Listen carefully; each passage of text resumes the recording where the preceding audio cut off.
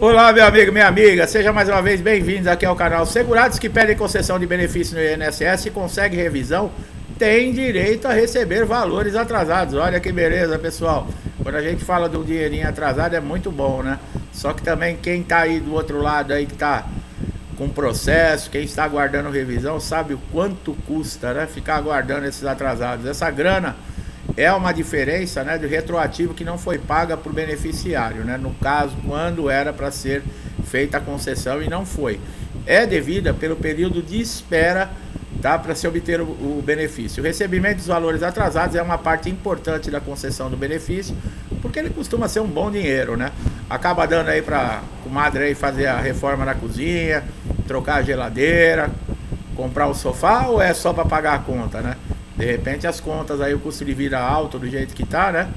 Eu acredito que é mais para pagar a conta, né? Porque tá difícil a coisa, né? Quem fica aguardando aí, por exemplo, um benefício de incapacidade não pode trabalhar e infelizmente muita gente não tem a quem recorrer, é aluguel atrasado, é gás que acaba, é luz, é água, parece que vem tudo de uma vez, né? Esses valores são ah, acumulados desde a data que você realizou o seu requerimento, né? Quer dizer, quando você fez o pedido, tá? Os valores começam a ser liberados para segurados que recebem aí, no caso, aposentadoria, pensão, auxílio doença, benefício e prestação continuada. Os depósitos são feitos conforme o final do benefício, tá? Sem considerar o dígito verificador.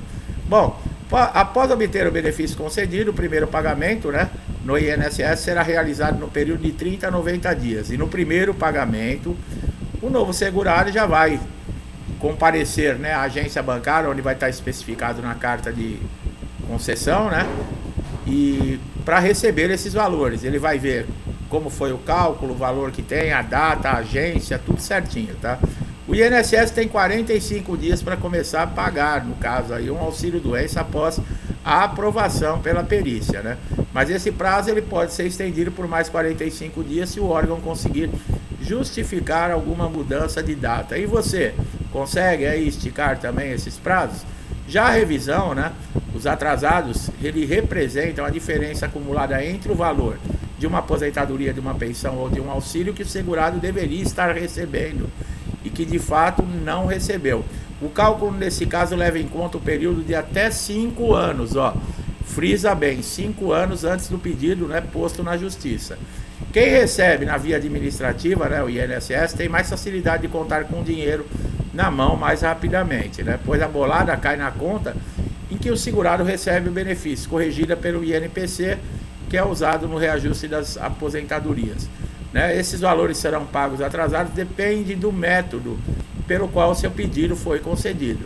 Se for pela via administrativa, nós falamos 45 dias.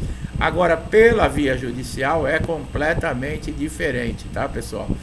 No caso do administrativo, a concessão, como nós falamos, vem na carta de concessão. Você também pode discordar dos valores, né? É claro que se você discordar, o INSS vai recalcular tudo, vai ficar mais um tempo aí parado, né? Esperando a boa vontade para fazer a liberação desse dinheiro né? Você não é obrigado a aceitar, mas se você não aceitar, você vai ter que engolir o tempo e quando o INSS resolver te pagar, né? Se pagar. Os segurados que recebem a concessão do benefício, é, através de uma revisão, vão receber valores, tá? Acumulados.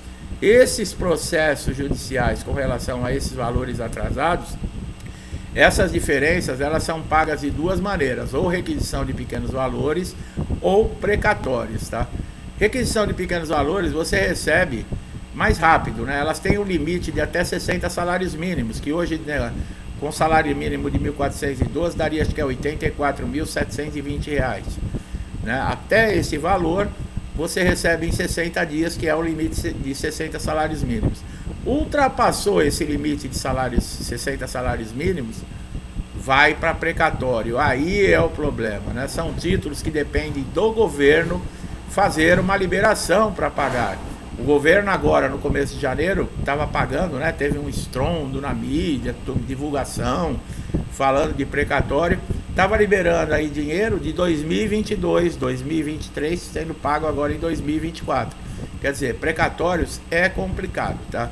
O governo samba para lá, samba para cá, parece que não querem pagar o que deve, né? Quando é você que deve, não tem choro, né? Tem que chegar, encostar a barriga no balcão lá e pagar. Não tem como você reclamar. Esses atrasados, eles são calculados quando a sentença é favorável, o juiz já manda para cálculo, tá? Você vai receber uma notificação da justiça. Agora tem um probleminha, né? Bem sério. O INSS pode recorrer e ele recorre na questão de atrasados. Existe uma, uma instância recursal que geralmente é onde o INSS recorre, ele sabe que tem que pagar os atrasados, mas ele recorre. Pode demorar até mais três anos para você receber esses atrasados. Olha só que custo que é.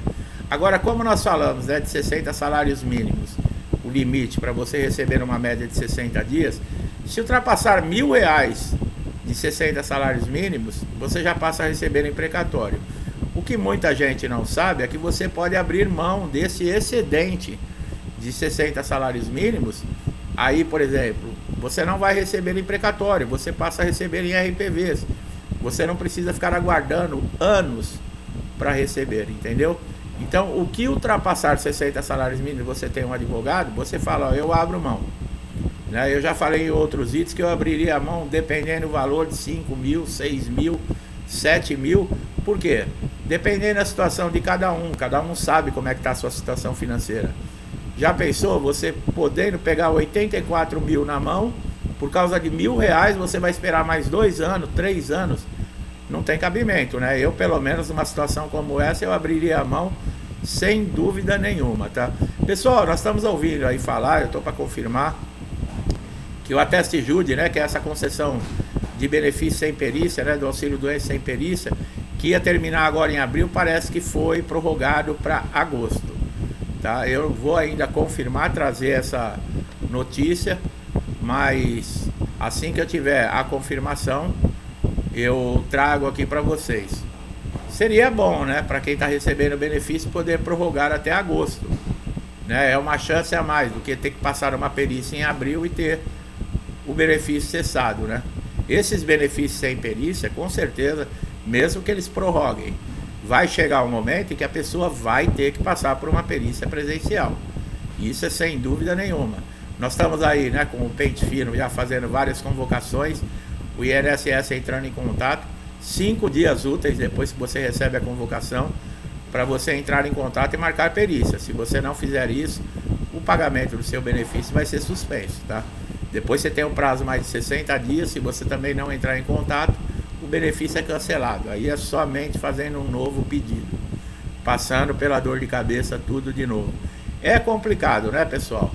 É complicado. E INSS é o que eu falo, não é para amadores. Meu amigo e minha amiga que chegaram aqui a primeira vez, eu espero que a informação tenha sido importante.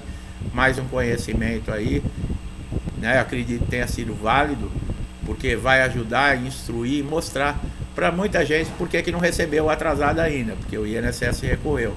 Tá bom? Gostou do vídeo? Dá um like, compartilhe, se inscreva no canal, ative o sininho de notificação para sempre receber nossos conteúdos em primeira mão, com informações sempre atualizadas que vão te ajudar a resolver qualquer problema no INSS. Fique à vontade para assistir os nossos conteúdos já postados quantas vezes quiser, tá bom? Não paga nada. Meu amigo e minha amiga, muitos comigo desde o início do canal, eu agradeço, que Deus abençoe a sua casa, a sua vida, a sua família, com paz, saúde, prosperidade, alegria, amor tudo que eu desejo para mim e para minha família, eu desejo em dobro. A todos vocês, eu deixo um forte abraço e até os próximos vídeos.